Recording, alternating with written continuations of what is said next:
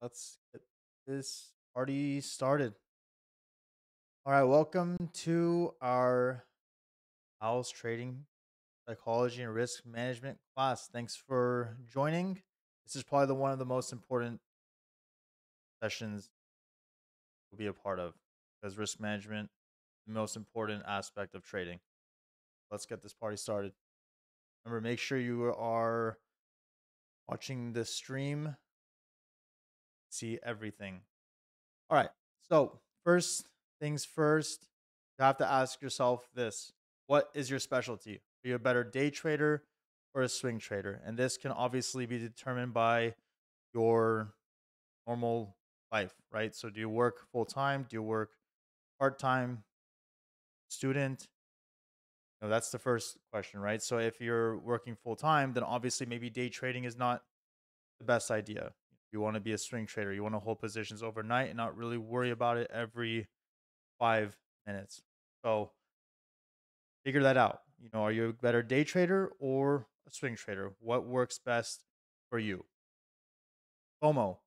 Obviously, this is the worst feeling in trading. You want to absolutely avoid it. There is like 252 or 54 days of trading days, right? And there's so many days so many stocks, tons and tons of opportunities. So if you miss one trade, honestly, not even that big of a deal. There's plenty more out there, right? You just got to move on. Now, triggers. So this is where, you know, our watch lists where we say Apple calls above 138, puts below 138, 137, right? Don't enter a trade a few points short just to get the extra couple of do- couple of dollars, right? So, meaning, let's say, you know, we say Apple calls above one thirty eight point seven three, and that's that's our trigger. And let's say Apple is five cents below, but you're like, hmm, it's getting close to this tr- trigger. I'm gonna enter because the premium is a little cheaper. No, you don't want to do that because you haven't had a confirmation over that resistance or confirmation below that support, right? So you can get easily faked out. You would rather pay a little more of that premium because you have confirmation of that candle breaking above that resistance or breaking below that support. So don't be cheap about your premium. You know, it's not going to move that much more, right? Now, again, with the next point, for the alerts, always start small, right? Never put in what you cannot afford to lose. And this is very, very important, right? And I say this every single day. If we don't put on the alert a specific stop loss, this is how you think of a trade. How much am I willing to risk per alert? Right? So let's say I make a Apple 140 call for two dollars, right? It so I'm gonna be like, okay, well, if I buy five contracts, that's a thousand dollars, right? So I know how many contracts I'm buying. I am willing to lose four hundred dollars out of that one thousand. So I have a forty percent stop loss. But the fact that I know exactly the amount I can lose, I'm fine with losing, I have no worry. And if it hits my stop loss, it hits my stop loss. There's nothing you can do, right? The market will do what it wants to do. No, we are putting out trades and you are making trades based on the best probability by looking at charts, looking at flow. But there's also trades that we just completely YOLO, right? Where it's just like, okay, well, I don't even care about this. But the ones that we alert and the ones that you guys enter, it's just the best probability based on looking at charts or flow. But whatever happens, happens, and you can't be mad about that, right? Now you can obviously be mad about, you know, oversizing, right? Let's say you have a thousand dollar mm-hmm. account and you put eight hundred dollars in the trade and you don't have a stop loss and below that eight hundred, well, your account's now down eighty percent, right? You always want to ask yourself once you enter that trade, how much am I willing to risk per trade, right? As your account grows, this doesn't mean your positions should be increasing, right? Obviously, yeah. So once your account grows, you have the ability to buy five more contracts, 10 more contracts. But you got to realize are you ready to be down five times more, 10 times more if that trade doesn't go your way, right? Just because, you know, let's say your account went from 5,000 to 8,000, don't put your size from 5 to 8 5 to 10, whatever whatever the case may be, right? Remember, the larger accounts, the larger lo- potential losses. You know, there's a lot of people that say, "Oh, well, it's easy, you know, if you have a much bigger account, you, know, you can risk a lot more." No, that's not true. That is absolutely not true. I mean, even for an account like mine, you know, I'm not going to give you a number the number of you know my account, but I you guys know I still don't go for the 100%, 200% wins. You guys see me take out 10%, 15%, right? You know, I'll, I'll buy alert for $1.75. It's $1.86. I'll sell 10 out of 15, right? I like to compound my gains. I would rather have a smooth line up on a graph than a roller coaster, right? I don't want to be up 200 on Monday, down 1000 on Tuesday, up 300 on Wednesday, up 50 on Thursday, and then down 200 on Friday. Right? It doesn't work like that. I would rather be up 100 Monday, up 50 Tuesday, let's just say down 20 Wednesday, so on and so forth. You want that consistent gains and small losses, right? And you will always want your profits to outweigh your losses. And here's another thing. If you've if you let's say you have a daily goal of let's say 200 for the week, right? There's 5 trading days in the week. So that means you're that's $40 a day. Let's say Monday through Wednesday you hit your goal. $200, you made it, you're done. You necessarily need to trade Thursday and Friday? No, you don't have to trade. You already hit your goal, right? There's no reason for you to give up all those gains. I see a lot of people, uh, you know, on Twitter, social media, whatever, that I've seen say, "Hey, I was up 2,000, you know, on Wednesday, and it's Friday, and I just blew it all." Why not just keep that 2,000? You know, once Thursday and Friday come up, expirations get closer, right? Theta starts really hitting these contracts, right? So be, the trades become more risky unless unless you put more time, but you're adding more premium. Just get off, turn off the screens, enjoy what you made this week, move on to the next, right? So if you hit your goal on a certain day, if you hit your weekly goal or if you hit your daily goal, why why buy another alert, right? Just end the day. That's it. You don't want to lose those profits. over trading, also revenge trading. So this is something that lots and lots of traders do, and this connects with FOMO, right?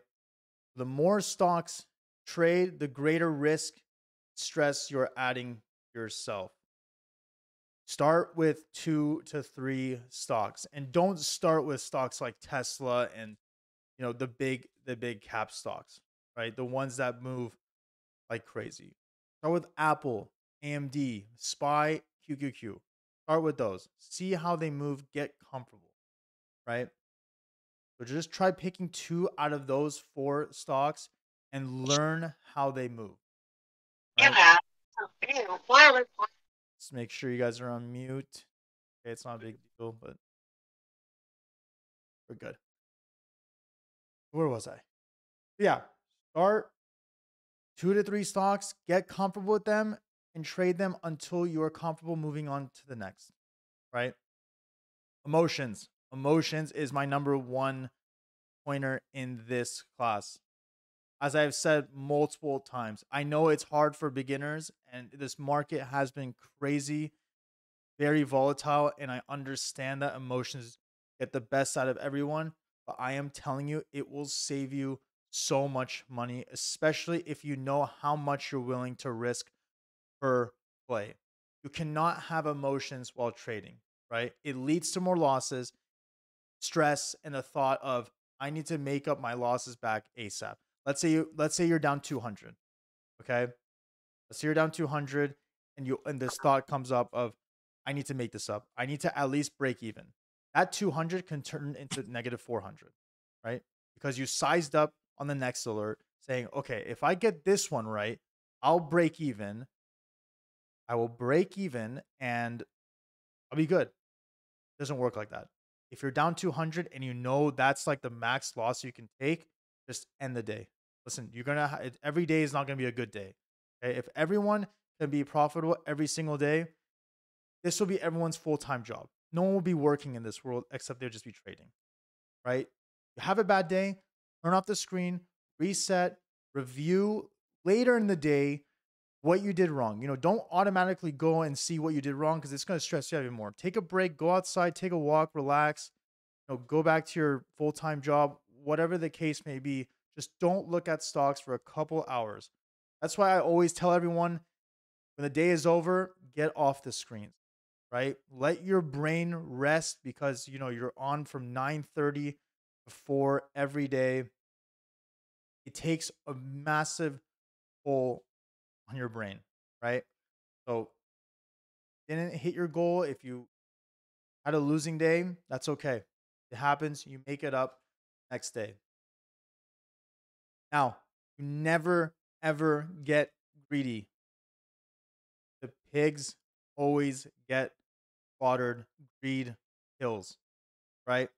You see profits, you take profits. All right. Yes, I know you want to hit those 100%, 50%, 75%. Now, if you have bigger accounts, you have the ability to have runners, right? But let's just say you don't. Okay. See profits, you take it and you go, right? Compound.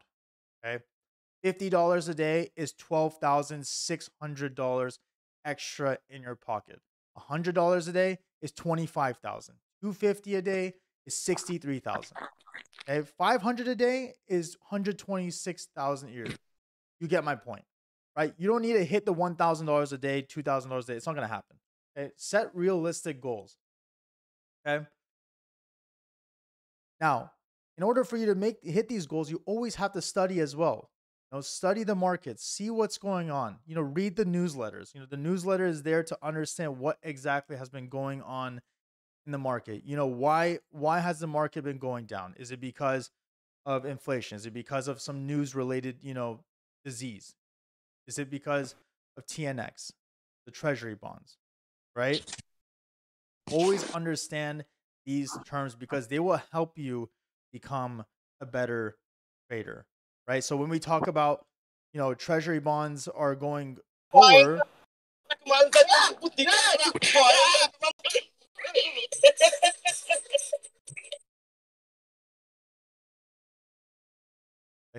um, yeah, study terms, right? And your treasury bonds. You know, if we talk about those, if they're going lower, you expect the market to go higher. If treasury bonds are going higher, you expect the market to go lower. Some people don't really understand that, right? So we put in the chat, you're going to start learning more and more terms. So keep studying the market, keep understanding what these different terms. I guarantee it will make you a much better trader. Four, never care about other people's profits. Now, this doesn't mean, you know, you don't, you know, say, hey, congrats, like great trade, great, you know, great profits. Don't be an asshole, right? Congratulate them. But don't make yourself feel like you have to be like them. You know, if you see someone make 5,000, right, that could be 2% of their portfolio, right? And don't be, you know, sad if you made $100. That $100 could be 20% of your whole portfolio. So technically you had a much bigger gain than the person who made 5,000 on his or her account. Right? So don't always look at people's profits and wishing, "Oh, I want to be like him or her." Right? Just focus on yourself. Focus on your account. Again, you can always congratulate them. It's not a big, you know, be happy for them, but don't compare yours to theirs, right? You don't know their account size right?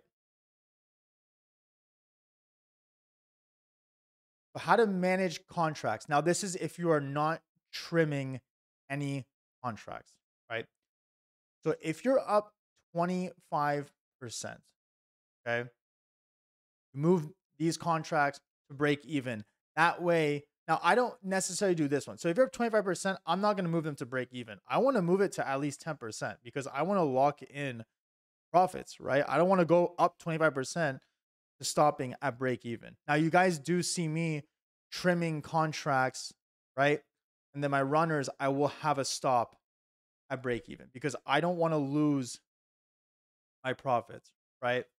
Now, if you're up 25%, I want you to move them to 10%, right? Not break even because again, you want to at least make some profits. Now, if you're up 50%, and this varies, this is just a general rule. You can always adjust it yourself, uh, but this is just a general rule. If you're up 50%, move your stops to 25%. So that way you're locking in 25% because some people say, hey, I was up 50%. I wasn't looking at it. I didn't or I thought I was going to get more. I just lost all my gains. Now I'm down 60%. What do I do? Should I hold or should I sell for a loss? What do I do? Well, if you know how to manage contracts, move your stops. Move the stop to 25% if you're up 50%. If you're up 75%, move the stop to 50%. Now, again, you don't have to do this. You can your stop to 60%, whatever the case may be. Now, if you're up 100%, and sell half your position and let the rest ride as complete runners. Then that that's just like the greatest thing. Like for example, tomorrow for Snapchat. By the way, congrats on everyone for hitting on Snapchat.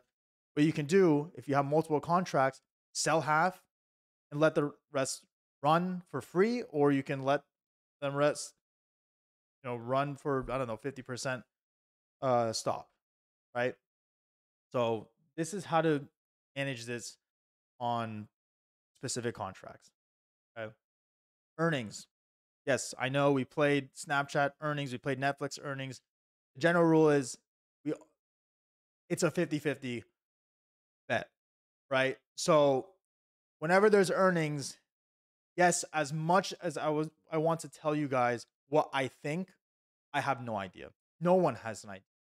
It's literally like going to Vegas drunk and playing roulette, right? And with flow, no matter what flow is telling me before earnings, it's not going to matter at the end of the day. It could look so bullish on flow. The stock uh, after earnings can tank 20%. Or here's another thing. As a macro expected perspective, for example, LRCX, right? A lot of people were talking about chip shortage, exposure to China, uh, negative 20% in forward guidance. When you hear all that, like, damn, this stock is for sure to tank, right? Because you see AMD, you see NVIDIA, you see all these other semiconductors that are getting hit, right? So obviously, Lam Research, LRCX, being in that industry, you're like, well, it's to fall like them, right? No, the stock went up over 10% today. You just don't know. It's seriously a coin flip. So if you want to play earnings, expect a 100% loss. You know, if you major gains from the week and you you're able to lose the full amount and you'll still be profitable at the end of the day, then yeah, play it. Why not? Right? But again, it's literally like going to Vegas drunk and just betting on some random thing in roulette. Same thing, 50 50. Small wins. There's absolutely nothing wrong with small wins, right? Again, it just comes back to compound, right? You're just compounding gains. You don't want your portfolio to look like a roller coaster, right? You want steady gains. You don't have to trade every day either. If you did well for three straight days, take the next day off. You don't want to risk blowing your profits, right? Or size lightly, right? So if the first three days you were sizing with five contracts, major gains. The fourth day, say, okay, well, I don't want to blow, you know, my profits. I'll just buy one or two contracts, have a tight stop loss, knowing that I will still secure my gains for the week, right? So there's absolutely nothing wrong with small gains. Yes, with social media, everyone posting these profits or whatever, who cares? Does not matter. Focus on yourself, right?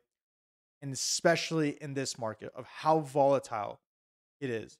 Trades can easily go green to red, right? So don't expect always, oh, well, I'm only up 15%. I want more. I want more. I want more. I've seen a lot of trades go from 15% up to down negative 40%. Okay. I trim, I'm like, okay, well, I trim 15%. I have runners break even. Whatever happens, happens. Right. I secured my gains. And then the next day I see my position, if I held, would be down 60%. I would have blown all my profits. Right. Take what the market gives you, or it will take it right back from you. Stop losses. Always have a stop loss, either mentally or set your broker. Right. So this goes back, you know, if I say mentally, it goes back to once you make a trade on the alert, ask yourself, how much am I willing to lose on this trade? Once you have that answer, go to your broker and type the stop loss, right? And place it. Now sometimes the market, you know, it gets volatile, right? And you know, you might get filled at a different price. So if you're if you don't have that many positions, right? And if you have one or two positions and you're able to just stare at that contract, well, you don't really necessarily have to have a stop loss. You can just look at that contract and say, okay, well, it's getting close to my stop. I'm just going to manually close it here. But if you can't manage it, right? If you have six or seven positions and you kind of get distracted, well, set that stop, okay? And whatever happens, happens. Not a big deal. And if you don't have a stop, then that's just the risk you took, right? That was, that's just your decision, okay? Got it. Oh, that that is it. Um, okay. Well, ask me questions. What questions do you guys have? Don't be shy. Um, can I chime in here for a second, Kian? oh, Widow, please. Yes. All right, guys. My name is Chris, um, also known as the Widow, and I am here for any of your risk management questions. If you have, I mean, a lot of you have already DM'd me and we've talked, but if you have any questions during uh, trading days, DM me. That gives Kian a chance to concentrate on finding trades for us.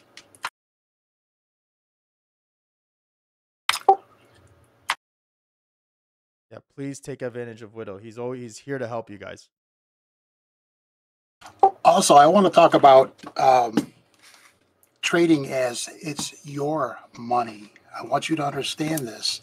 You don't have to sit here and wait for Kian to take his trades off or alert sell or um, I mean, if you feel the trade's going against you, you can get out. It's your money. Also, if you feel the trade, you want to hold on to it a little longer than key intake says, you could do that too. Again, it's your money. It's all about your risk tolerance.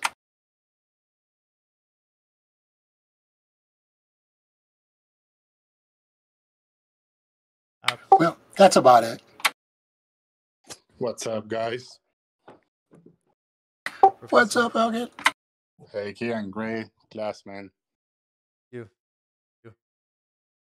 Great class. Also, another thing that I want to tell you guys when you're looking at certain levels, certain triggers, right? You're, let's say, we say Apple calls about uh, above 140, for example. So Apple is approaching to 140.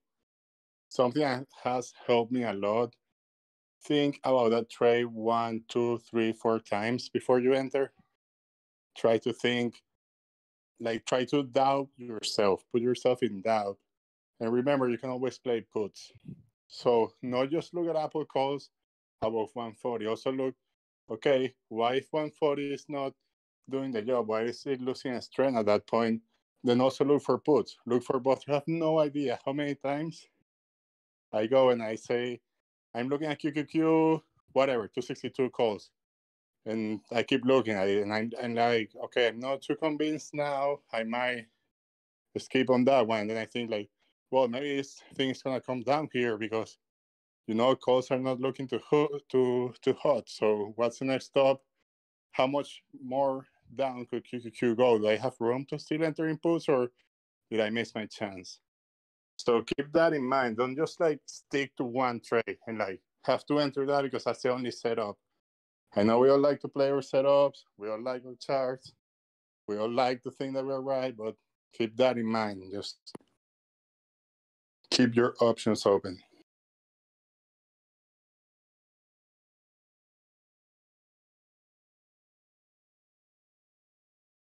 Yeah, good point. Good point for sure. Hey, Kian, I just wanted a question here. Whenever it comes to gauging levels on breaking support or resistance, is it ever just enough that it just quickly dips down or above the level? Or do you think it has to completely be above or past it? Like if it just nudges that like 0.01 down or up, is it good? Or if it bounced back, like how how should we commit to that or Yeah, not? Yeah. Uh, For me, you know, um, definitely a full candle close you know, above that resistance or below that support, right? Now, I would recommend when you're on these levels, don't be on the one minute, right? Because the one minute, there's a lot of noise, right? You know, you can see one candle you know, go up, one candle go down very quickly. I would recommend either the three minute or five minute. Now, that's just my personal preference. But with a three minute and five minute, you know, you can really understand where the candle actually is because it's it's five minutes of data going into that candle. Because one minute can easily go above, like let's say you know you're in calls, right? Well, that one minute candle can easily go above uh your resistance, but that next one minute candle can just completely break below. But if you see a five minute candle go above your resistance, well, there is more data in that candle, right? So I would like to see a full candle below for a support or a full candle above the resistance. And another thing, always watch for volume, right? You need volume for these candles to go to push higher or lower, right? Because if, if the volume is light, right, it's not going to have enough momentum to carry, right? And another thing is that let's say you're playing Apple, right? Apple's a tech stock. Obviously, you want to have QQQ on the side, right? Because you want to see where the indice is going as well as the stock that you're trading, right? Now, that's a little extra, but if we're just specifically talking about triggers, I want that full candle close above on that three minute or five minute candle. If that makes any sense.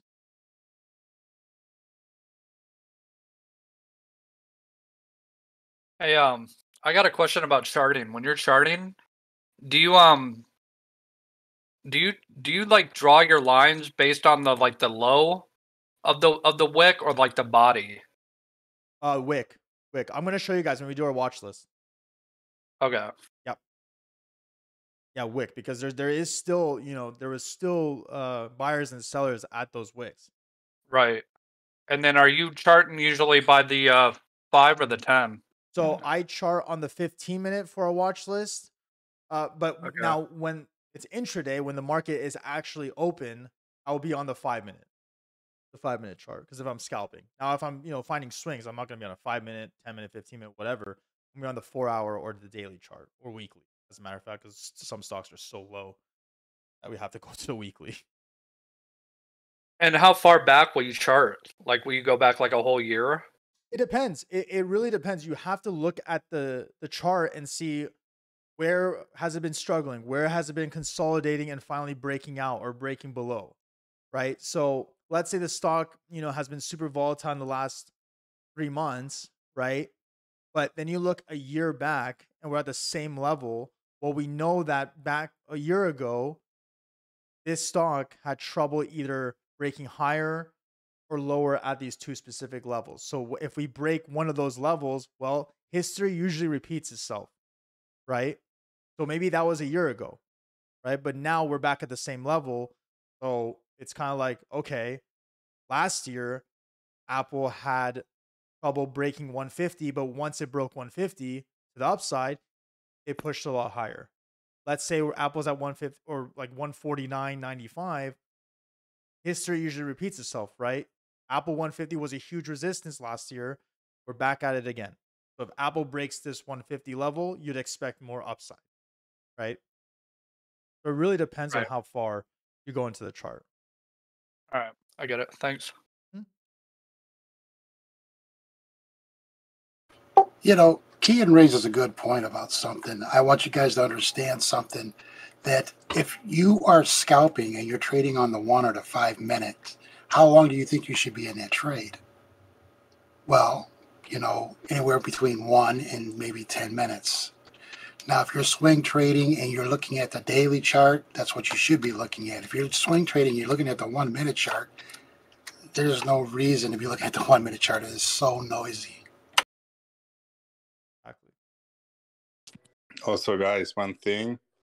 Remember a rule of thumb that I have, and I think Widow and Kian do it too. When volume is low, whether it's in the market or a stock, if you are gonna play a short experience, you have two options. If you wanna play the breakout, put time because I think if it doesn't have the volume that you want, that means that if you're in calls, a few sellers are gonna come and they're really gonna mess your trade. So you either put more time or you stick with the rule that I have for zero DTEs or like short expiration same week. I have low volume days. I only play reversals. I literally don't care how much it goes up. I just wait for it to go to my 200 EMA or my next resistance, same in the way down. And I play reversals. When I see a lot of volume and I am confident that the trend, the momentum is there, then I play the breakouts. So be careful with that.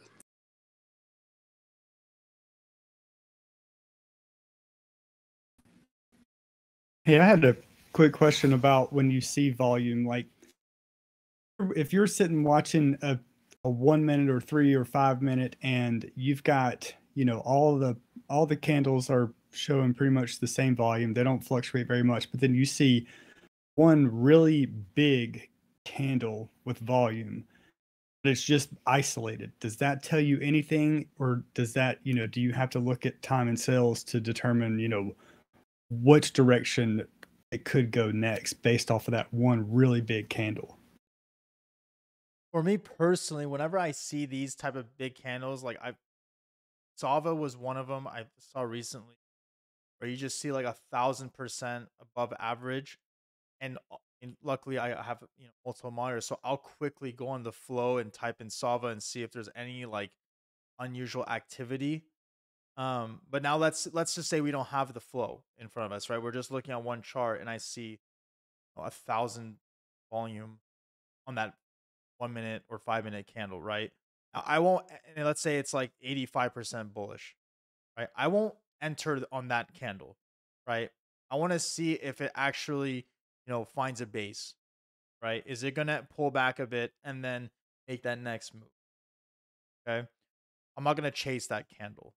It is, it is something to note, right? Where you have to understand, okay, well, there is a lot of, um, volume on that specific handle. But if you're looking at your levels now, if you have levels set, well, is it going to actually break above this specific resistance or if it breaks below this support? Because it could just be that one candle for some odd reason, but it could easily uh, pull back at the same time. You got to be careful with those uh, type of candles. I kind of just like ignore not ignore it, but I'll wait for the next candle to see if there's actually a continuation of it. Yeah, and if you hear us sometimes in voice when we say watch this thing shooting back up or shooting back down, like after a big green candle or a red candle, that's usually like a one minute candle spike. You're gonna see a lot of volume coming suddenly, but it's not going to hold. So the price comes back either down or up the, like right away. So a lot of the times you're gonna hear us saying, "Look at this coming back down." Like you see a big green candle on QQQ, and we're gonna tell you, "Look, it's gonna come back down." So if it's a one minute volume candle, most likely ignore ignore it. You wanna see like daily, like for the day, an hour, every minutes, maybe even 15 minutes. But a one minute or five minutes, you kind of you have to let it build. So yeah, be careful with those because a lot of the times you're gonna see a big candle and you're gonna chase it, and it's gonna come right back down.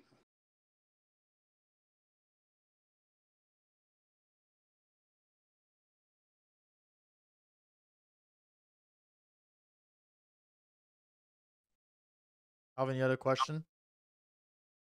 Yeah. Hey, Kian. Uh, this is easy. My name is Akshay. Thanks, guys, for the class. This is really helpful. I just have a question based on something you, uh, I think you or the professor said. So I know you said like when we are trading, let's say Apple Watch, the corresponding index, right? Let's say QQQ or even SPY.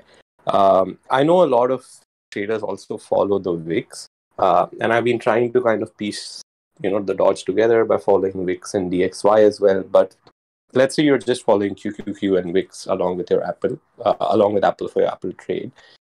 Do you look at one like? Is there a pattern where one follows the other? For example, VIX moves first and then SPY or Apple follow, or Apple moves first based on VIX. Like, is there some sort of flow, or do they all just kind of move together pretty much? I mean, I don't know. I feel like a lot of traders today have noticed that VIX is broken. I feel like I don't think VIX is moving correspondingly to how the market has been. So I kind of I have two others. I mean, TNX is definitely one you should have on your list if you're looking at specifically tech stocks or stocks in general, right? Because TNX is interest rates, right? interest rates go up, it's not good for stocks. So instead of having VIX, I would rather have TNX right now because VIX is just moving in such a weird, weird way that it almost doesn't really help you, right? It might actually, you know, hurt you more than help. Um, now there are other indicators that you can dollar sign add, right? That shows the buying and selling pressure, right? So if let's say there's plus 1000 add, right? That means there's a lot of buying going on into the market, right? Now, if there's negative 1000 ad, that means there's a lot of selling going on in the market, okay? And same goes with tick. You can use tick, right? So dollar sign tick dollar sign slash TQ for uh, NASDAQ, right? So your first thing is going to be QQQ or SPY, right? So if you're in a banks, you're you're looking at SPY. If you're lo- if you're in Apple or tech, you're looking at QQQ. We'll always have that on this side. VIX, yes, it does work for the most part, but we've had days where the market has been down over 2% and VIX is still red, right? That doesn't happen in a normal market right? So I would definitely use TNX, which is the treasury bond, basically the interest rates. Um, add dollar sign add and then dollar sign tick. That is what I use, and obviously uh, the ETF of whatever stock I'm trading. But if you notice, actually today in our shop trade, you know, obviously we didn't get that great of an entry. I mean, we are a little profitable today, but anyway, um, you notice once uh, QQQ broke this specific uh, resistance, you obviously saw SHOP push higher, right? So it follows the ETF, right? So always have the corresponding ETF next to the stock that you're trading. Okay. Yeah, that helps. Thanks a lot. No worries. Whenever it comes to like big uh, market moves, you uh, like notice in a sector, is it better to just target a specific stock rather than the like say an ETF focused on it, like semiconductors, for example? Yeah, absolutely. Because those semiconductors, uh, depending on the stock, those premiums can move much more than the ETF because the ETF has a little lower IV. Now, in today's market, SPY and QQ actually have pretty pretty high IV, but you know in general, uh, the the stock would have more uh, movement in those premiums than uh, the ETF, unless you're playing the indice of SPX. Can you guys hear me by chance? Oh, uh, I have a quick question. As uh, from someone who has a smaller account, I only have a, about three thousand dollars in my account, and uh, it's unfortunately kind of just been staying there. I've had to reload here and there, but my main question is that I'm having issues with uh, with like consistent gains or consistently growing my account. Um, and I feel like it has to do with execution of the plays. So I, I, I solely only take alerts from you guys. Um, and I try my best to TP or take profits at like 15, 25%.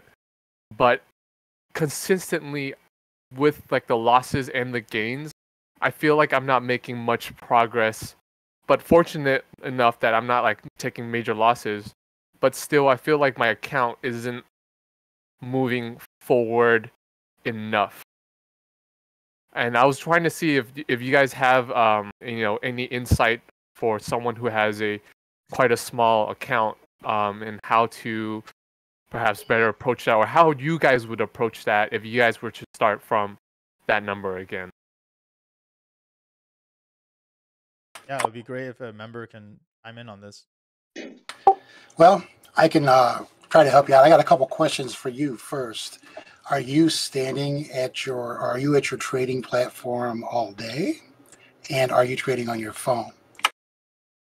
Um, I'm on the computer and I'm usually I'm on the west coast, so probably I'll stay up until I would say maybe an hour before or two hours before market closes. I usually try not to. Uh, use that's usually that's when I start my other job, so my day job. So All right. I want to chime in on this. Uh, Not only you, but there's a lot of other traders that kind of have the same issue. And what it is, is you come in and you take an alert, okay, and then you walk away from your screen or you're not around to see when Kian sells the alert or, or Elkan sells his alert and you miss that sell. Then the next Right. thing you know, you find yourself under the water. right, right. Can I say what if I I'm on my screen all the way up until maybe an hour or two hours. So I'm I'm following the alert pretty precisely, like pretty on top of it.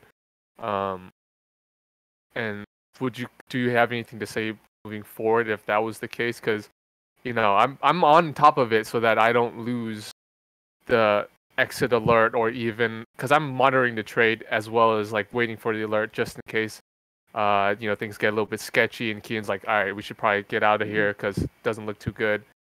So I'm on top of it in terms of like watching the alerts and watching uh, the plays, and usually with my account size, I'm I'm only in like one or two play most of the time, so it's not really hard to you know manage. Okay, my next suggestion is are you setting physical stops? Are you just using mental stops and or putting stops in when you're there? Because if you're not setting physical stops that are according to your risk tolerance, then that might be why you're losing bigger than you're winning. They're usually around uh 30 35 percent. Um, that's that's pretty standard. I would say that's that's around where I have it set at. And here's one more piece of advice. Okay, so Okay. you're you're you're falling down 35% on average. What are you winning? And um, see, because I'm because of my account size, I'm I'm only purchasing. I'm only risking maybe like well because I'm trying to pick up a little bit more. I'm I'm risking ten percent uh, of my account. Usually that's going to be two plays, um, and I'm usually trying to take TP at twenty percent, twenty five percent. Things go well, but I mean, uh, yeah, that's usually. Well, is that is that in your opinion a winning strategy that you're putting stops at like 30% and then you're only winning 25%? Right, I see. I See, I see that discrepancy in the long run. Okay, I can see where that's true. So if you're consistently winning winning 25%, maybe you should put your stops at like 10%. See. Or hold your trades for a little bit longer and maybe they'll Mhm. win a little more. Your winners, hold your winners, cut your losers. Kian, um, so your small account uh, alerts, uh, just out of curiosity, um, would do you have any intentions on uh, perhaps resetting that, like doing like a you know going back to like five thousand or or whatever it may be, um, just out of curiosity. Yeah, yeah, I can do that. I can absolutely do that. I gotta Obviously, gotta- whatever I like gotta- the I- yeah, members, I- you know. I gotta figure out. Um, no, I can. I can do it. I just got. I just gotta figure out the time, the time when to do it. Um, once I, I'm kind of like in this groove, so uh, when I have this like type of feeling, I kind of just want to keep going. Um, but once I feel like where it's like, okay, maybe I should uh start slowing it down. Don't want to feel like too cocky or anything. So, um, probably soon in the next couple weeks, I will start a lot a lot smaller. Um yeah. Thank you, thank you guys. No, I'm it's just really appreciative that you guys have like you know you guys have the small account alerts and as well as the large account alerts for people who don't have like a sizable account to trade you know take those trades. So Oh, yeah, absolutely. I really appreciate it uh, you guys. Absolutely. Yeah, we, I mean, as you can tell, like our large accounts, I don't even think we barely post in that channel. I think it's all. I think the most is like four dollars or something. I mean, I've probably done one one thousand dollar contract, but yeah, it's like ninety nine percent small accounts. But we want to cater to everyone. We don't want people to feel left out. Hey, whenever it comes to uh well, I guess I'll use like the current example right now. Like Ava had uh towards end of day like thrown out a lotto for Spy 3800 call again, expiry tomorrow. Uh but you guys are like all like settled in on a bunch of different puts. How do you like evaluate like uh like whether because I mean, you're not you're not necessarily in doubt of like Ava's call necessarily what she was looking at at the time, right? Like, how is it that you like leverage like what you're seeing now into a put compared Yeah. to like her call in that? That's that's a good question. Um, and yeah, it, it is it is hard sometimes where you know, where I feel like mainly all my alerts are puts, um, and she puts out uh you know an SPX thirty eight hundred call expecting the market will go up, and yet I just alerted like a shop put, Snapchat put, whatever. Um, it just you know it comes down to what you're willing to risk, right? Like again, I'm not going against Eva, right? She is playing that alert based on her thought process, and I'm playing my alerts on my thought process, right? So, you know, it comes down to okay, so what do I think the market is going to do? Like, do I still feel more bearish leaning on Kian's side, or maybe, you know, the market can turn around and Snapchat, for example, might post better advertising revenue uh, than expected, and maybe Eva is on the the right side of this trade, or you know, if Eva posts that trade last, and you're obviously, um, let's just say you're in shop puts as well, you just have to decide, okay, well, I guess I can do both. One will win, one will lose, but you don't really want to do that because you're risk, you're still risking more, right? That's it's like earnings too. It's like, well, I can buy a put and a call, and one will win, one will lose. Well, you're still putting more risk into that trade, right? As a matter of fact, both of them can. So, um, it is a good question. I mean, yeah, obviously, it, it is weird sometimes where some one alert is bullish alert and one alert is a bearish alert. But you got to, but you got to think of it this way, right? S- some puts are long dated puts, you know, March expiration, April expiration, and this call is tomorrow's expiration. So tomorrow the market can go up and you make money on Eva's puts. Yeah, those puts, or I'm sorry, calls, and let's say the long dated puts uh, are a little bit down. Well, you know that there's you know three months, four months in expiration, right? So you're able to hold those for longer because you know we we've seen it right in the last couple of days. Um, market pushed up a little bit, right? And we had long dated puts, but now it's pulling back. Um, so we're able to take profits on those, even though let's say Eva alerts calls in the meantime, right? So you got to also look at the expiration dates on these alerts as well. That made any sense. Yeah, I get you. Like, yeah, you don't really have anything like set for expiry tomorrow because you you're also like accounting for like the 50-50 of the of the earnings play, right?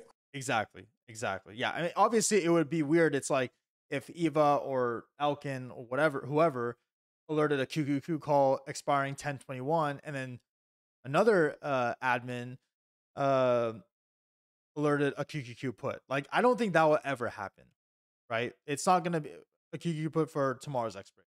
I don't think that will ever happen.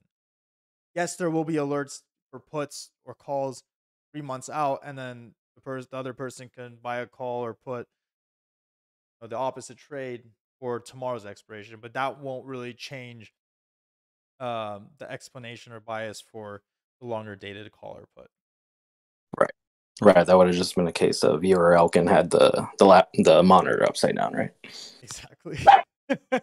exactly. All right. Uh, I guess uh, then one more. Uh, I don't know how uh, redundant this seems. Uh, so inverse of a EFT, whether like leveraged or not. So say ARKK and SARK. Yep. Um, if you're seeing like the downtrend on ARKK, is it better to play the put on ARKK or the call on SARK? Uh, it, it depends. It, I mean, relatively, it's you know the same process, right? So obviously, if ARKK is going down, uh, SARK is going up because they are literally the inverse. Now you got to look at obviously the contract that you're in, the expiration that you're in, because what if ARKK has a much higher IV, right? Because IV moves the contract, the premiums. Right? The higher the premium or the higher the IV, more the premiums, right? And what if Sark has a lower IV? Right? You So doing, you're not Ellie? necessarily be making money, more money on Sark than ARKK. So you gotta, you, it really depends on the contract uh, that you're buying. Gotcha. So it's mostly on like premium moving potential then. Exactly. Exactly. Yeah.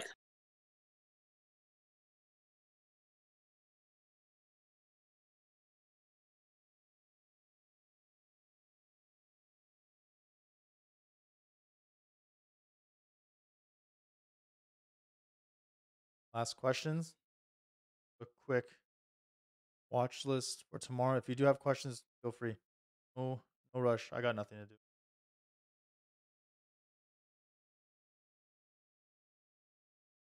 Good. All right, let's quickly do.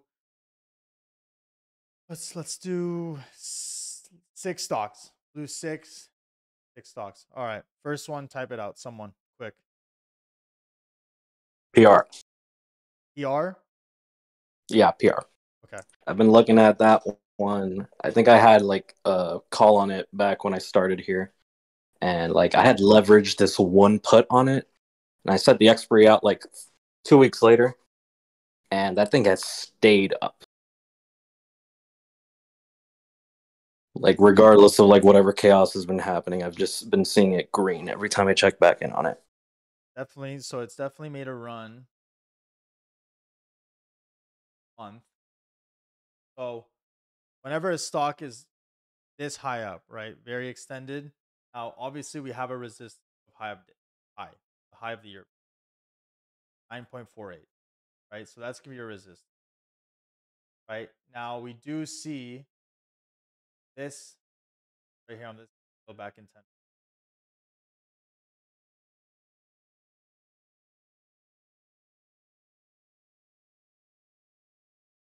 I know eight support, right? So right now it's kind of in this, right? We have a 9.48 resistance, which is the high. We have a 9.08 support because this is here didn't break next day, push down, right? Now there's like a support here as well. So if it does break 9.08, you can technically see 8. There is some here, and I don't know how much volume here on this chart, but that's okay. Um, but yeah, I would look for a break of the high of 9.48 and then support of 9.08 on the daily. Now, if you go on like the 15 minute, right, obviously we have 9.48 still. You see how there was resistance here, wicks, rejection, rejection, and then finally pushed higher, right? That's going to be your resistance uh, intraday. So 9.26 could be your uh, resistance for trading this stock. 15 minutes.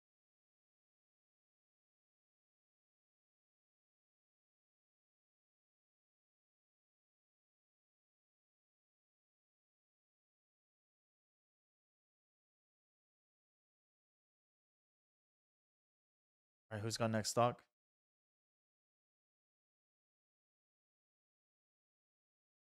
Don't be shy. Come on. Shopify. Shop.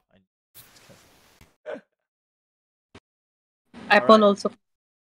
Apple, yeah, we'll do, we'll do Apple. Okay, so again, very easy to spot. Uh, we could we got the highs right, thirty point eight two. We also see that when the market, so it was obviously dropping throughout the day, held support around here, right, twenty nine point six seven. You have a wick here at twenty nine point five three. So nine point five three this wick. Now, intradays for the 15 minute, I'm going to obviously, I already know that 30.82 is the high, so I'm not even going to about that. I want to see this level, right? This was today when we alerted it. I knew that if we broke 30.26, it's going to get a little bit ugly for our trade, but it did reject. Reject.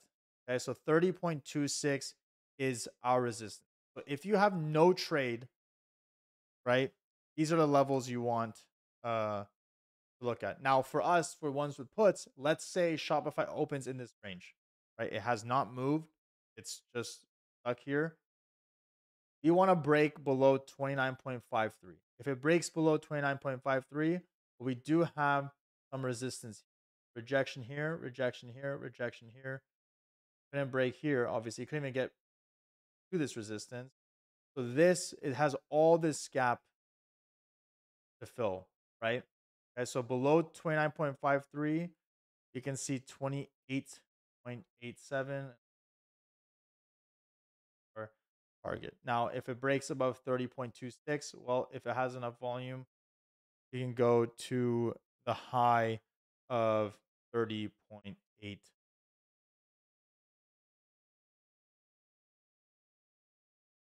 This price right now, it's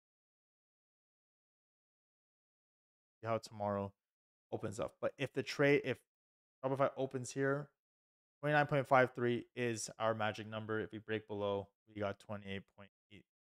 Okay, so MG don't have a mic at the moment to cover the handful of platforms that don't offer straight up stop loss and op.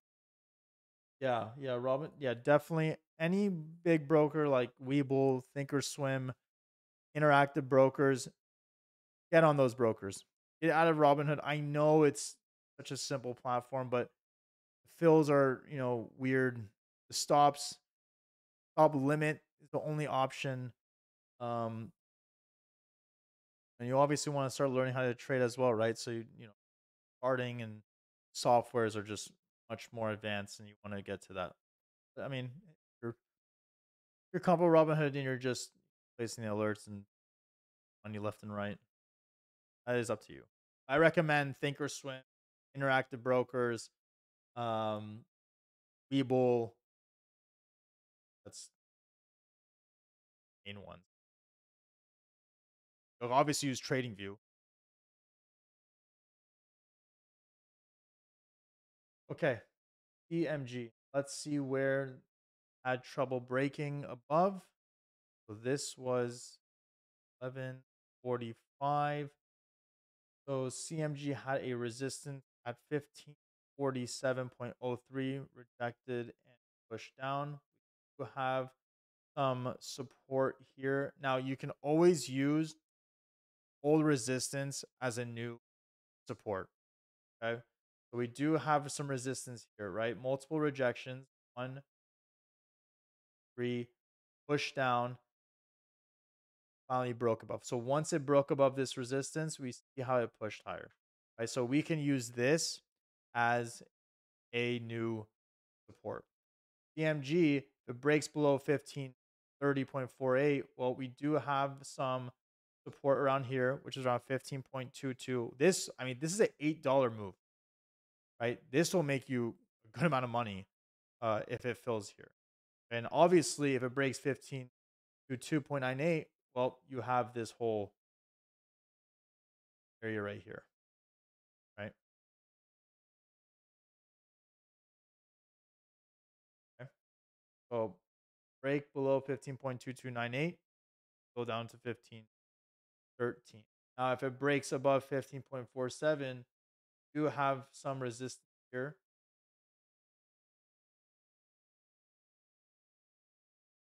Fix here, one right here, weak, couldn't break. resistance here as well. So above 15.4703, there's really nothing else that's kind of stopping you until 1553. So this would be your target for calls. And again, this is what makes, you know, trading um easier, right? The more indicators you have, the more uh confused you get, right? Now, the more advanced you get, obviously, you know, you can start using VWAP, the A's, all that stuff. But right now, if you're more of a beginner, just look at price action, volume, right?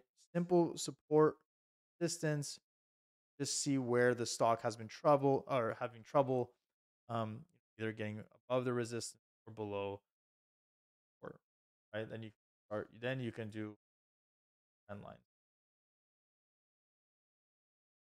right? Wedge. Actually, a pretty good uh, setup. So you know, in this into this type of pattern, you want to wait till it gets the edge here, right? Because once it breaks this pennant, it either go up or it could either go down. But simpler terms, I will actually keep how it opens more. If it opens, definitely make a trade out of this. XOM. Okay, so XOM, I feel like with oil, always starts hot, always dies down throughout the day. I feel like it's a very common, right? So we do have the high 105. Okay, but we do have a resistance right here, right? So 104.39. Okay, we do have a previous resistance around here.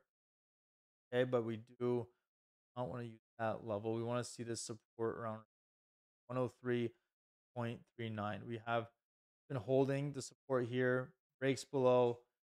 Now it's acting as a new resistance, breaks above, right? Now we're back at this same level, 103.39. So if it breaks below 103.39, we do have this small wick as a support around 102.89. Below that, we can just go to the one this whole gap fill right here. Now, if it breaks above 104.39 with volume, expected to push to 105 at the high. Okay, so be careful with oil. And again, we have to see where I mean, right now it's by five ish.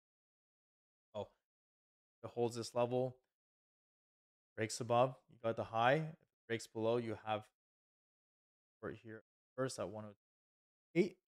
Have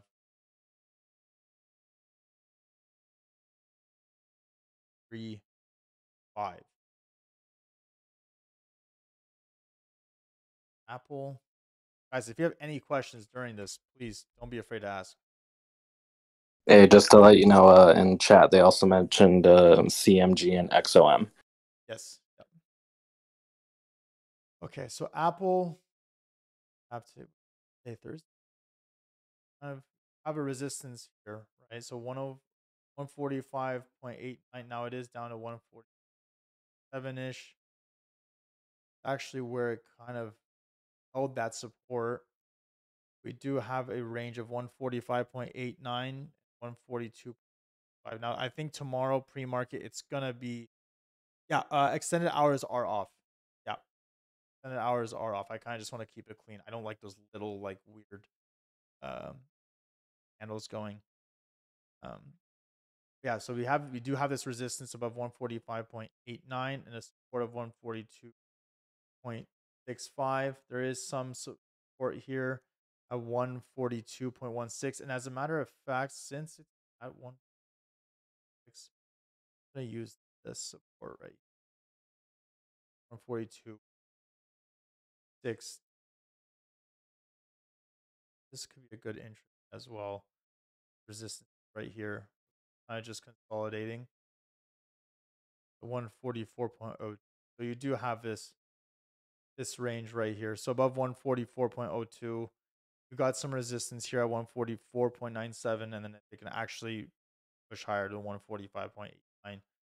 Um, below 142.16, you have a mini support at 141.5, and then it can push all the way down to the 140. Obviously, 140 is a psychological level, which goes below that, then 139s are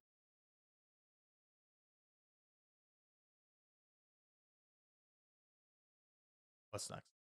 XOM, CMG, Apple, and Shopify. ASO. ASO, yeah.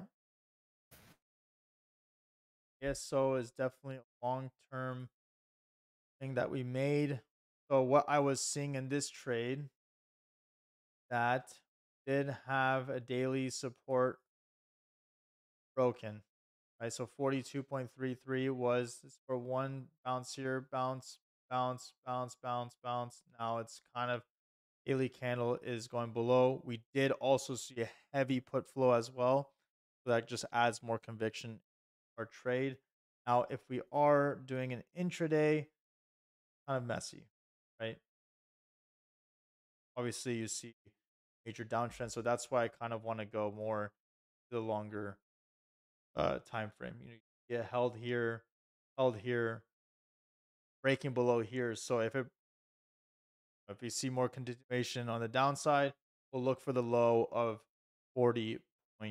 I mean, you have a small support here at 42.09, but I think it's go below.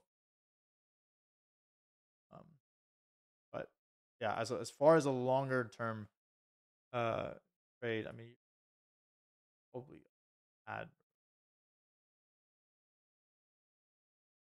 bounce here, bounce here, bounce here, but finally broke broke through. So or around 41.37. Baba, how do you determine when to enter a trade based on unusual whales? I will show you guys that once I am done. Baba.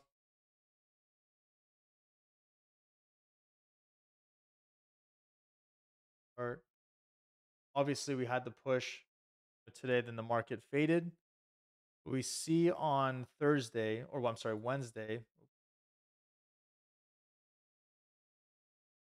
had trouble breaking this, right? 72.45. Look, it had trouble breaking it today uh, as well. So 72.45 is going to be our resistance. Right, so if it can break 72.45, do have some resistance here at 72.95. Um, that's a very small target. So I would say where this held, this support right here, so 73.1 is a good spot. Okay. Um, we do have a support here at 71.99. Held here, pushed higher. But again, if it breaks below 71.99, do have support at the 71.29, then the low. So it's kind of just in this range a bit. Um, but man, earlier in faded basically. Oh, okay. How do you determine trade based on unusual? But I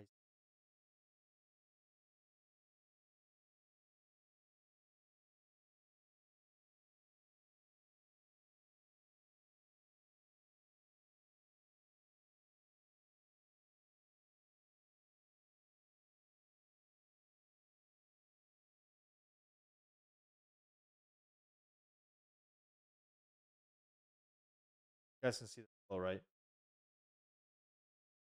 Yeah. Yeah. So let's do SLB one that we made. So this is what happened on SLB. Okay.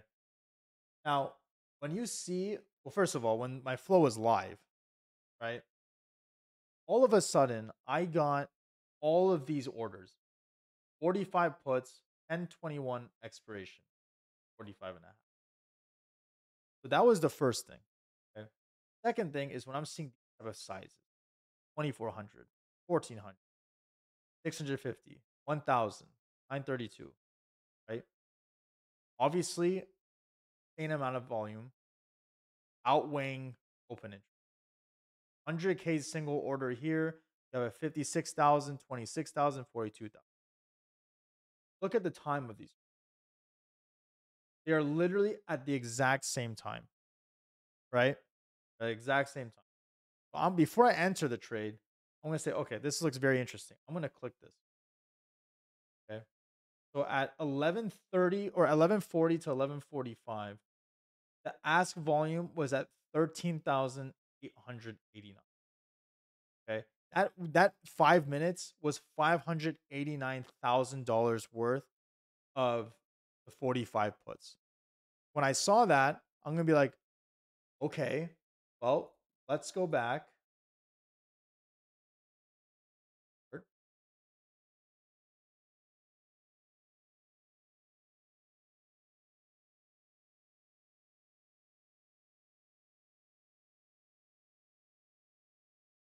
So let me go here.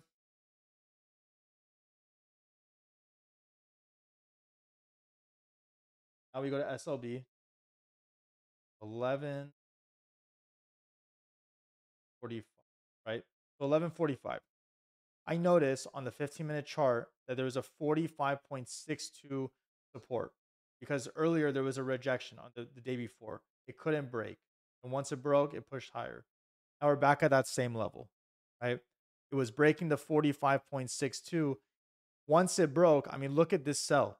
Look at the seller bar. We sold our contracts right here, right? Because there was a support here that bounced. This is why I trim and take profits, right? Because I know once I see this can, I'm like, okay, well, there's definitely buyers picking up. My premiums are going to disappear, right? So again, I see that type of flow, consecutive orders, big size, big volume, over $500,000 in that five minutes. That's what made me make the trades. And that happens a lot of the times. Now, I do tweet a lot, right? 900,000 Amazon, 500,000 Tesla, whatever, right? But that's just for Twitter.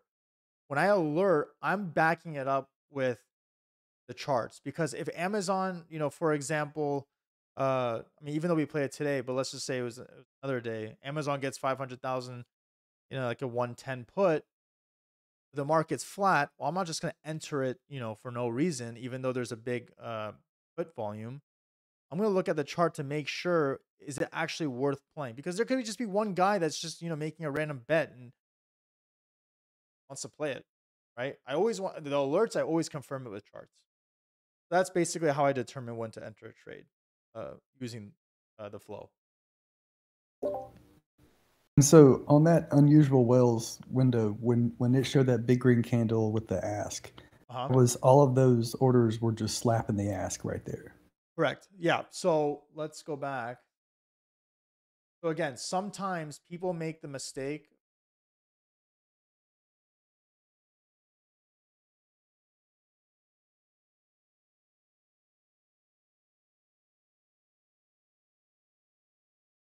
Okay. Yeah. So some people make the mistake, right? They see heavy, you know, uh, they look at this, right? The reason why I open up this contract because sometimes it could be at the bid volume, right? So basically that means they're either getting out of the contract or they're selling the 45 puts, okay, which means it's actually bullish, right? So they're on the wrong side of the trade. So when I notice that this is a massive R of ask side, right? As you can see, it's 13,000 ask volume to 1100 bid volume. This is an opening trade. So they're buying 45 puts. So that's exactly why I bought it. Right. And I know that they're buying the puts rather than selling. And as you can see here, right, the put volume obviously outweighs the call volume. Make more sense? Yeah, I just wanted confirmation on that because you know that's that's one thing that that you know it was hard for me to grasp at first was like when you see people hitting the ask, that means they really want to get into that trade versus if they're hitting the bid, they are selling for premium or they're selling to close, right? Ex- exactly. Exactly. Yep. You always want to make sure it's the ask if you want to actually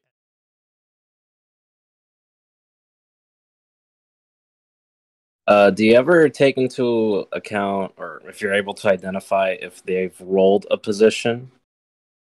Well, yeah, yeah, yeah. So you know, obviously, you know, you look at the next day volume open interest, right? To see if it's carried over, right? Or what you can do is actually go into the trade itself, look the details, see here. I mean, obviously, it's not going to show here right now, but you'll be able to see if they've actually um, roll their position if you actually click on the contract details. We're gonna. I'll, I'll show you tomorrow. Someone's gonna remind me. Uh, what we can do. We can do uh, SLB flow again tomorrow, uh, and I'll be able to show you if they've actually rolled their contract to a different expiration. I don't have this platform. I use Fidelity, and you can see the open interest on the um where you're uh, buying your options. When do they update that? Is it is it apply to every uh, different um, platform? Like, is it at midnight the next day, or or Uh, like the six a.m. the next day? For me, I when I open it, I uh, it's right when market opens.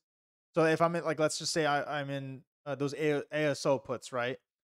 Once market opens, I'll type up ASO. I'll go back to, you know, I'll go back to the trade. So let's say it's Friday, right? Let's say it was the 30 puts for June 16th. So tomorrow, I'm gonna see if this volume carried over. I'm not gonna check at midnight or whatever. Um, when market opens at at 9:30, that's when I check um, if it's carried over. Okay. Yeah, ASO is another good example. 1.24 million. Pacific Bar, when we actually alerted it was around 870,000. Ass side. Yeah, yeah, so started tanking.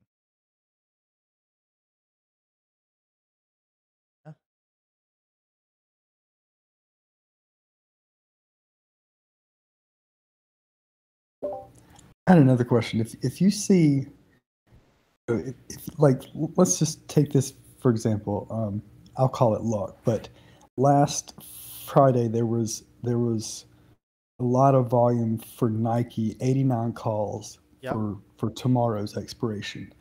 And I was just like, you know what? I'm gonna I'm gonna hit that. So I bought a couple contracts holding over the weekend. When when you see something like that that may be, you know, a week, two weeks out, are you do you expect that move to happen the next day, you know, the next hour, or is it just, you know, you're getting in that trade and obviously if you saw it today for tomorrow expiration, you're expecting the move, you know, pretty quickly. But if it's a week or two week out, are you expecting that move, you know, within a day or two? I would say yes, because you don't want to get burned on theta decay. But what what are your thoughts on that? It's a good question. Um, to think of a good example that on. I think BK was an example, um, or B BX. That flow hit three million in premium in like 85 puts or 80 puts, and that was a June expiration. Had like eight eight months, eight months expiration. Okay, it was like three million in premium, put premium. Now, obviously, when you when you have time like that, you know, if not going away for a couple days, well, you know you have eight months left in expiration, right? So yeah, it might not it might not happen overnight, but it can. It absolutely can, right?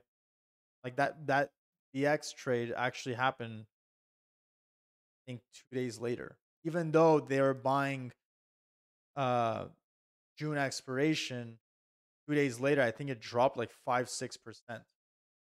Um, so it, you know, when I look at the the flow and I see, like for example, Snap, I think it was, Yeah. it was, we alerted it Monday, right, and, uh, and tomorrow's Friday, so it's been almost a week. It hasn't been moving really that much for four days, but on Monday it was like four hundred fifty thousand in premium for the March expiration, right? Right. Now, okay, it, it might it might be a bad example because Snap was an earnings play. But I took the trade because we have till March, the seven strike. It's cheap. 450,000 at the ask was getting hit, right? We have time. I bought a seven put expiring Friday and Snap hit 11 today. That, that put's gone, right? IV sucked out, theta eating it up, right? So it, it like it really I wouldn't say just because um it's like a 3 month, 4 month out expiration it's not going to move the next day or 2 days later. Um but it can. It for sure can.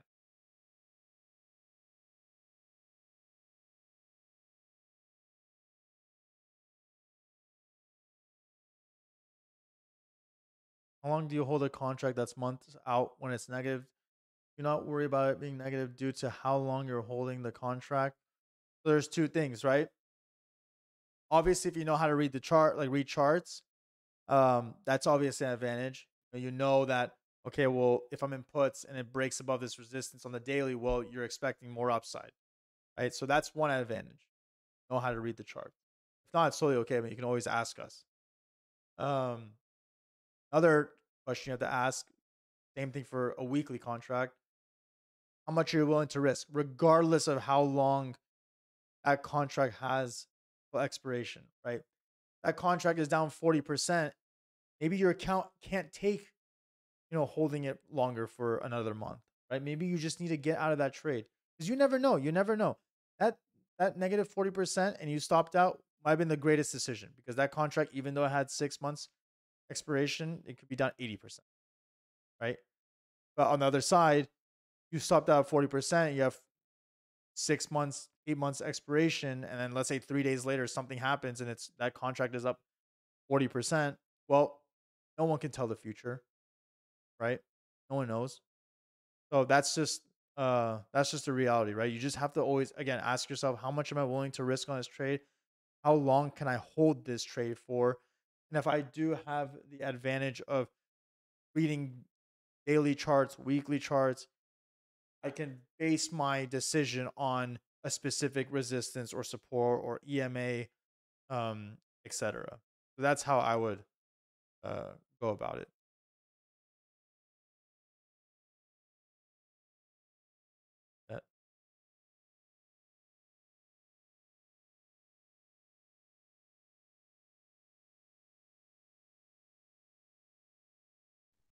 How do you gauge when an unusual trade is something to look into?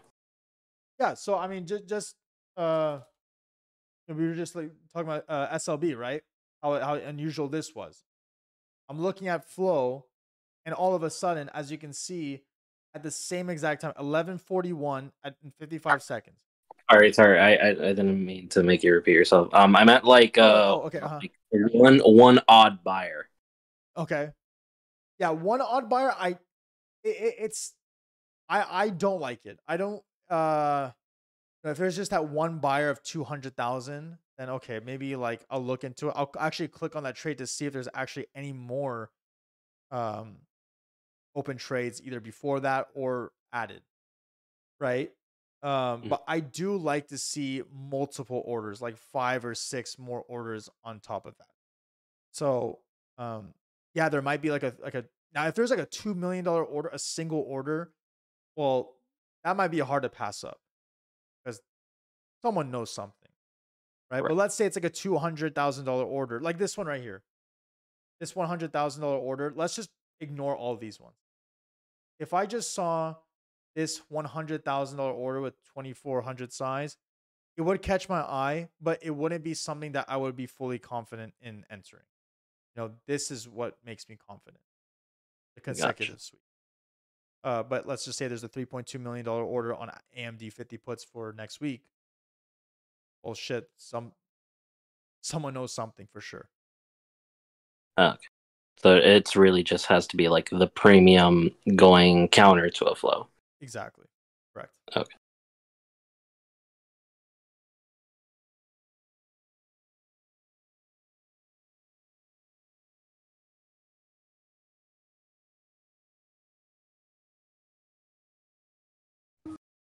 Hey, Kian, I have a one quick question. How do we check OI change? Like I know in US it's difficult to see because they update at end of the day, right? You don't have any. Uh, Say that one more Comparison. I think I think it broke it broke up a bit. now, how do we check the OI change? Like you know when we are buying uh, calls or puts or Oh, oh, oh, I Yeah. oh the open interest. yeah, yeah. Yeah. So um, obviously look at the chain of your of you know let's say Thinkorswim, right? Mhm. Thinkorswim. Mhm. Here, let me show you.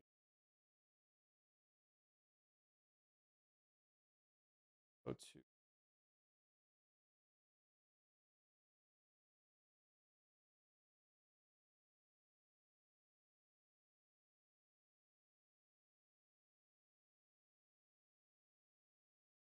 So let's say, so obviously you want to have your layout as you want to have the open interest volume, right?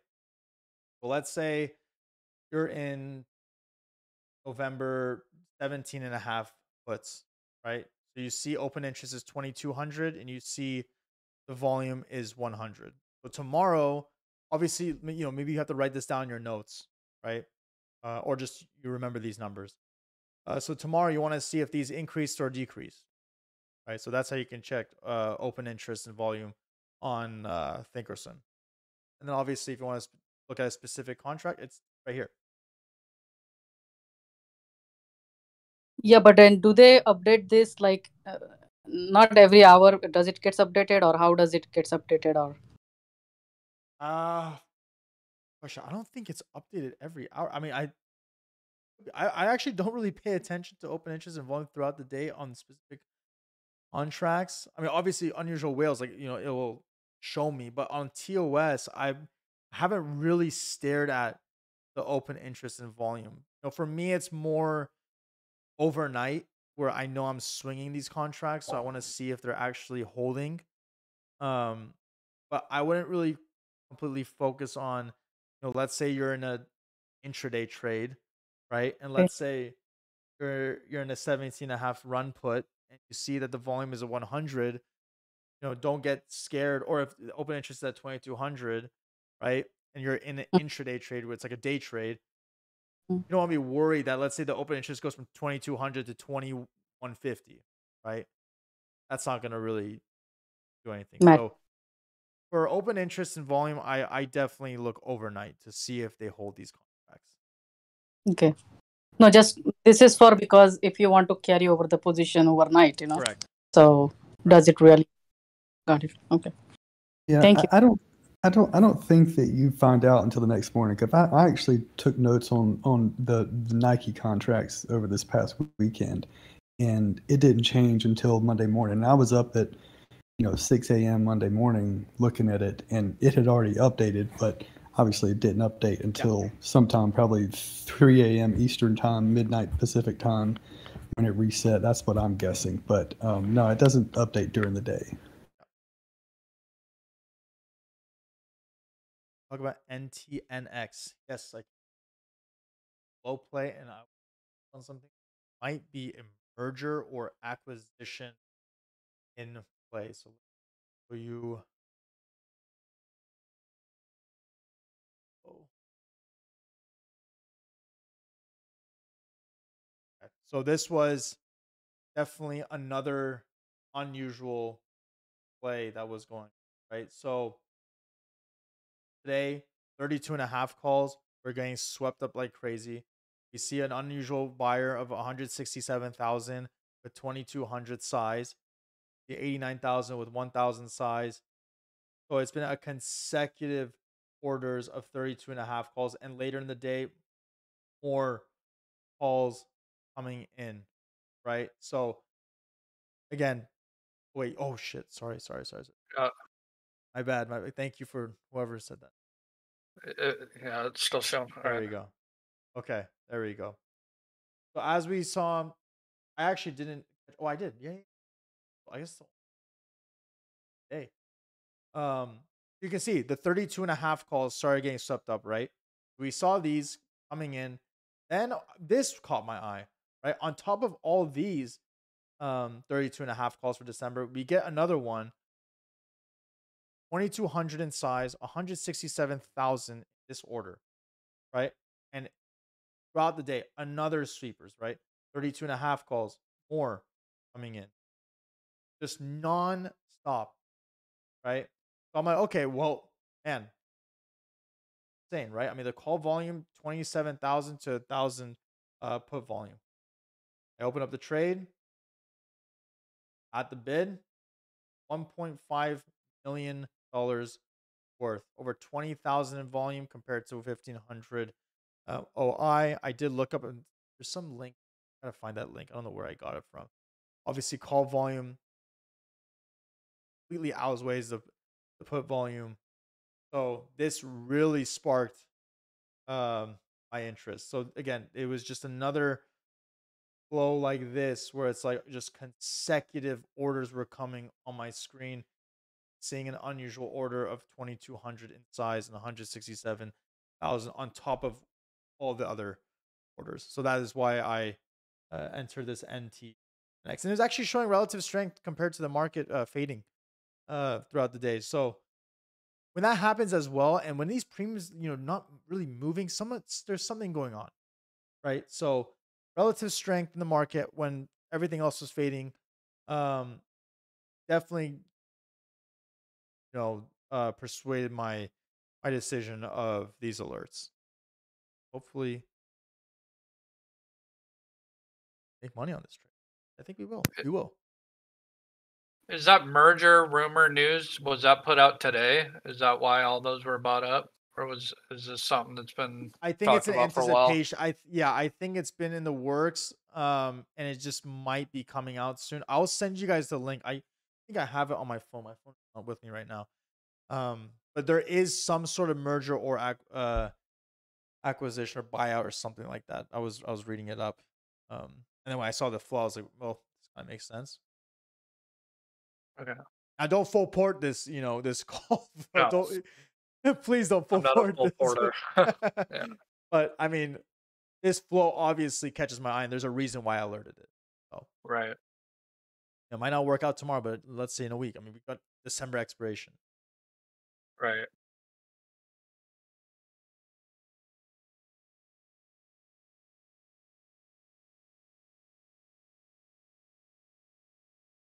Let's do one more question. I'm gonna don't say forward. Yeah, I said it.